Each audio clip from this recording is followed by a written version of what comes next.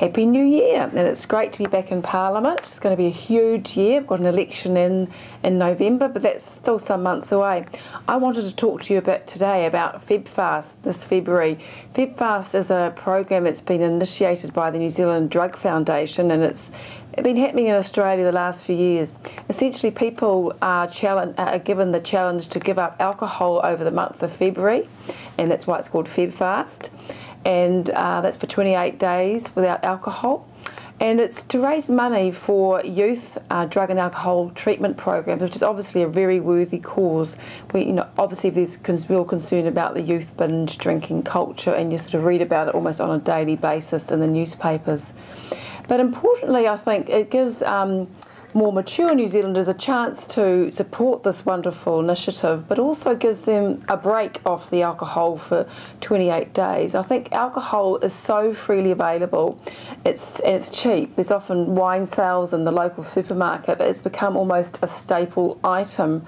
Um, that we all use and pick up when we're in the supermarket rather than a once an occasion treat. So I think that for many, many mature New Zealanders, not just youth, alcohol has become very much of a part of daily daily life. So having a month off alcohol, I think, gives people a break from the alcohol, and also it gives them that satisfaction they can do it, and also many other positive benefits such as um, better sleep. I mean, alcohol. If you drink alcohol within four hours, it actually can affect your REM sleep, which is when the part when you need to dream. So, although alcohol might get you off to sleep easily when you've had some alcohol, it actually is quite a poor quality sleep. So, better sleep.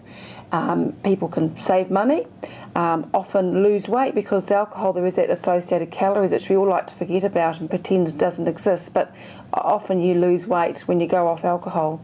So there's many many positive spin-offs um, for saying no to alcohol for the month of February apart from the fact we're raising money for a really worthy cause. So I was really pleased to be invited to be a FebFast ambassador along with people like Bob Parker, Pinky Agnew and Jo Seagar um, and um, you can go to the FebFast website and read about those ambassadors and read about the program. That's www.febfast, or one word, .org.nz. Now, what's really exciting is that I've encouraged some of my colleagues in the National Party to become FebFasters. and we've got about 10 MPs now, including um, one minister, Hekia Parata, who's joined up on the FebFast National Party team. And uh, we've raised over $3,000 already with sponsorship and people supporting us.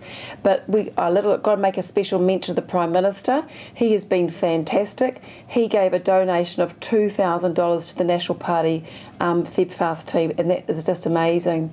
There are other MPs in our in the National Party who are who are going on FebFast, but they're doing it unofficially, and that's fine. They just want to just do it by themselves, but there's at least three or four others. So I think altogether, um, being election year, um, getting that right space, um, getting back on track with alcohol, letting it, you control the alcohol, not the other way around, it's all going to be a really good thing. And it's also um, very much part of the alcohol law reform coming up. I think it it's a big issue. Alcohol is a major issue in New Zealand. It costs billions of dollars um, in the social fallout from alcohol uh, harm, um, ACC costs, um, domestic violence, you name it, alcohol is implicated in every aspect.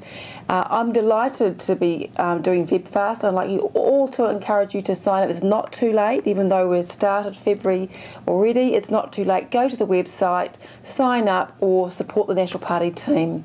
That's www.febfast.org.nz. I'll chat with you soon. Bye.